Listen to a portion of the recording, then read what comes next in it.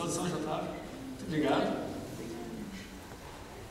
O nome desse grupo é, se chama, o grupo se chama Sagres. É, Sagres é o nome de uma cidade do sul da, eu, é, sul de Portugal.